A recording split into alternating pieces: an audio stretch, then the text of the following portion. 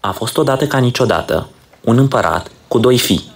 Într-o zi, acesta i-a chemat pe cei doi la el și le-a spus Dragii tati, eu sunt bătrân.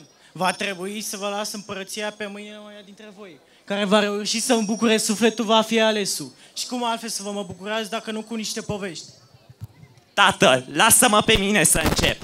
A fost odată ca niciodată un împărat. Acesta avea una, două, ă, șase fete care în fiecare noapte aveau în mod misterios pantofii rupți. Totul până într-o dimineață.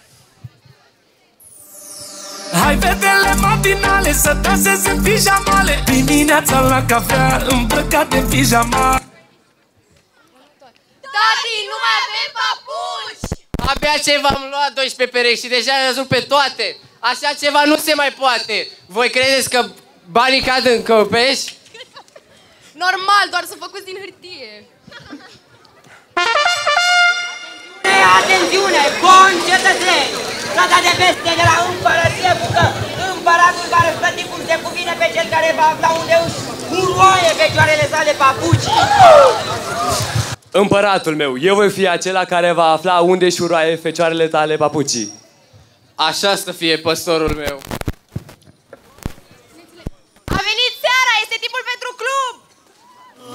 Să se audă tarabane cu ritmuri orientale Să vedă și talentare cum se mișcă din mijloc Să dați volumul mai tare Fiecare mișcare e și mai seducătoare Fetelor, ia uitați! S-a făcut dimineață, haideți acasă! Iată împăratul meu, ce fac fetele tale. Vai de mine.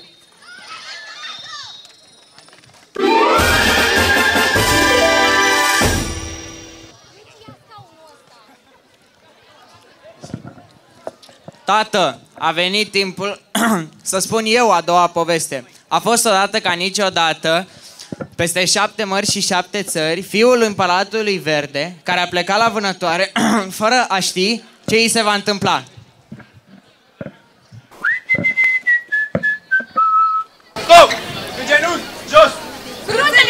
Și ne vom răsplăti cum se cuvine.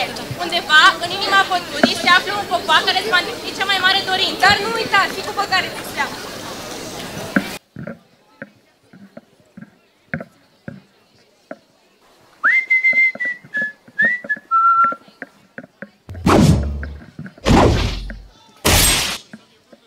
Apă, apă, că murim! Nu prea e multă.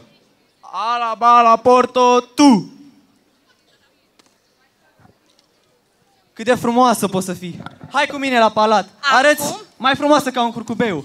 Acum, îmbrăcat așa, hai la mor să mă aranjez cum se cuvine. Stai, să ne ducem la Zara, trebuie să intru să mă aranjez. Bine, o să mă duc să mănânc ceva. Asta e șansa noastră, mămică.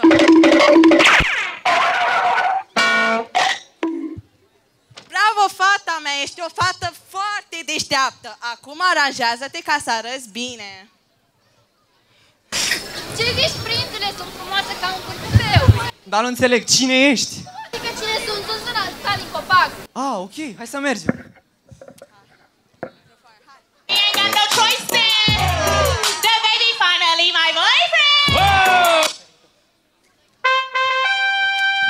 Dragii tati, fiindcă ambele povești mi-au plăcut în mod egal, vă invit și la anul la care pe care cu același entuziasm. Până atunci, toată lumea sus. Haideți la dans și la joc.